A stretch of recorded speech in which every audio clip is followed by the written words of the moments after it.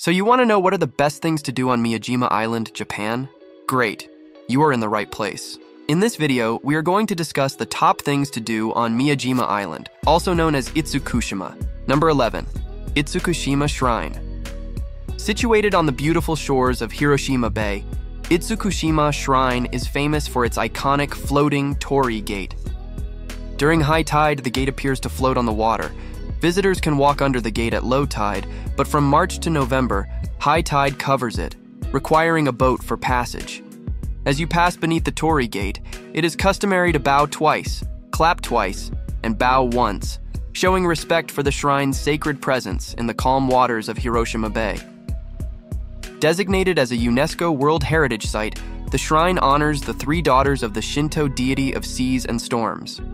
Number 10. Daisho-in Temple Nestled peacefully at the base of Mount Misen, Daisho-in Temple feels like a serene sanctuary. It is the 14th stop on the Chugoku 33 Kannon pilgrimage. Among its most intriguing features are 500 Buddha statues, each adorned with knitted hats and a large sand mandala created by Tibetan Buddhist priests. Visitors can participate in a Buddhist ritual by spinning sutra wheels along the temple steps, believed to bring blessings similar to reading sacred texts, even without understanding Japanese. Number 9. Senjokaku Pavilion. Discover the elegance of Senjokaku Pavilion, also known as Toyokuni Shrine. Constructed by the famed warlord Toyotomi Hideyoshi, this pavilion serves as a solemn memorial to those lost in battle. Do not miss the five-story pagoda, Goju Noto, standing over 88 feet tall. Built in 1407 within the Daisho-in Temple complex, it is among Japan's oldest pagodas and one of the world's oldest surviving wooden towers. Number 8. Mount Misen. Rising 500 meters above sea level, Mount Misen is Miyajima's tallest peak. On clear days, it offers breathtaking views of the Seto Inland Sea and even Hiroshima City in the distance.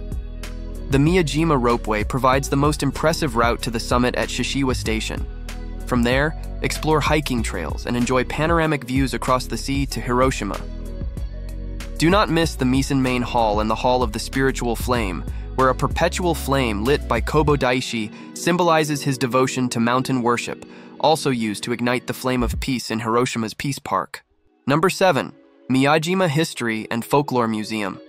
The Miyajima History and Folklore Museum offers a glimpse into Miyajima's past, it is housed in a mid 1800s merchant's house, preserving part of its original layout to show how prosperous families lived in the 19th century. On display are artworks, artifacts from the island's shrines and ceremonies, and everyday tools used by locals. The exhibits also cover the island's geography, traditions like festivals, and crafts, providing insights into Miyajima's cultural heritage. Number 6. Miyajima Public Aquarium Located at Miyajima's western end, the Miyajima Public Aquarium introduces visitors to marine life from local waters, the Seto Inland Sea, and beyond. It features 380 species, totaling 15,000 aquatic animals, including fish and mammals. Highlights include tanks with finless porpoises native to the Seto Inland Sea, areas mimicking Miyajima's tidal flats, and an exhibit of an oyster farm, the aquarium focuses on interactive experiences, with daily sea lion shows and opportunities to interact with penguins, otters, and seals. Fish and sea lion feeding times offer hands-on experiences with these aquatic creatures. By the way, check the links in the description for the ultimate guide on saving money while you travel, plus recommended tour operators on Miyajima Island. Number 5. Hang out with the Miyajima Island deer. Miyajima Island, also known as Deer Island, is home to over 500 free-roaming deer considered messengers of the gods. These friendly animals may try to grab snacks or items like maps or tickets. Enjoy interacting with them as you explore the island, keeping an eye on your belongings. The deer add charm to your visit with their playful antics. Number 4. Momijidani Park Momijidani Park is unmissable, with paths leading between Itsukushima Shrine and Mount Misen. It is stunning year-round, especially in fall when thousands of red maple leaves create a beautiful carpet beneath nearly 200 maple trees. During October and November, the shrine lights up, showcasing the autumn foliage day and night. Explore the park to encounter more deer and do not forget to relax at the old-fashioned tea house nestled within. Number 3. Miyajima Omotesando Shopping Street. Omotesando Shopping Street is the lively center of Miyajima, filled with souvenir shops, cozy cafes, and inviting restaurants. Visitors can stroll leisurely and enjoy local specialties like ajimamiji and grilled conger eel fish paste unique to the region. One notable attraction is the world's largest wooden rice scoop, stretching an impressive 25 feet long. You will also find a post office where you can send postcards back to your hotel or home. Souvenir hunters will appreciate the stores selling local crafts, such as Miyajima rice paddles and carvings. Number 2. Try the local oysters. Miyajima's oysters are a special delicacy highly regarded for their plump texture, sweet flavor, and freshness.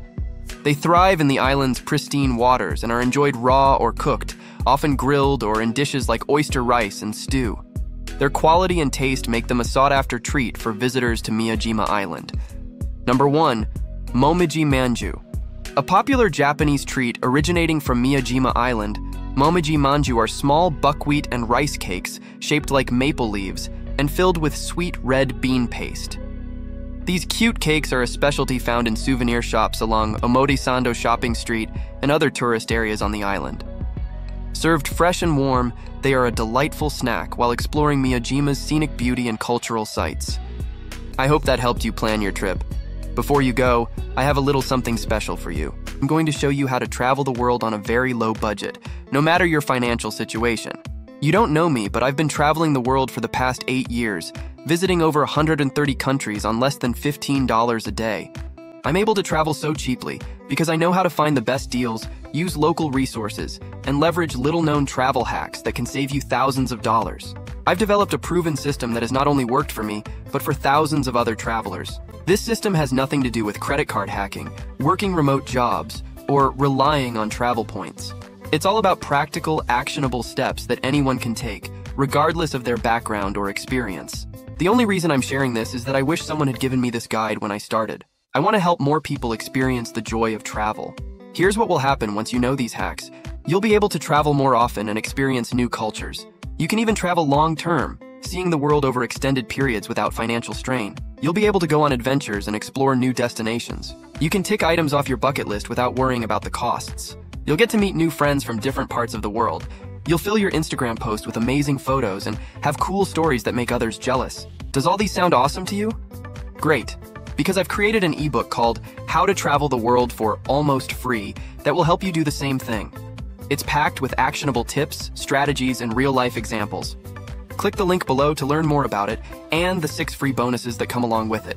Get your copy now and start traveling the world on a shoestring budget.